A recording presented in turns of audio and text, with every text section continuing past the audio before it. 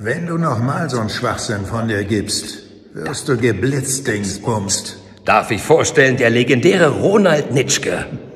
Hallo, ich muss noch eine Herde nach El Paso treiben. Macht's gut.